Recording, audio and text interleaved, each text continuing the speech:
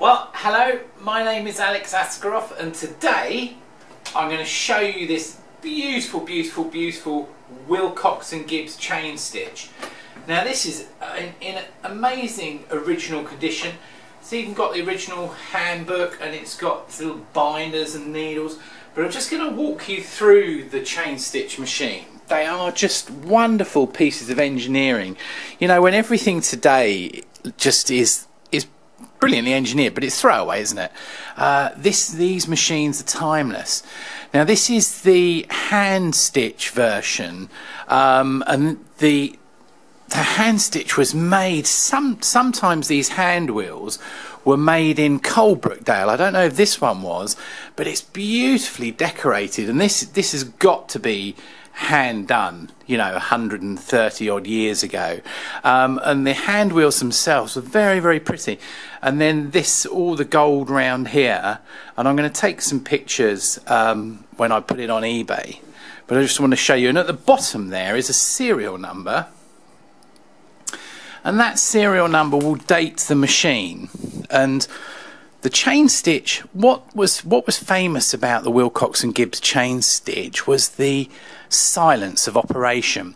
So we're going to turn the hand wheel now. Oh, there we go. There we go. Oh no, I've turned the turned the fabric the wrong way around. Come and turn it around the other way.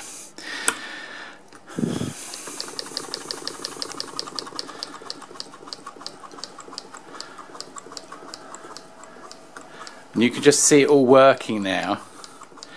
And it just does this really really sweet little chain stitch. On the actual needle plate down there is the the typical uh, Willcox and Gibbs. These were made in New York, these machines. So part of it's British and part of it is American. And on the plate there is all the details of the patent dates and everything. But it's just a beautifully engineered um, piece of machinery.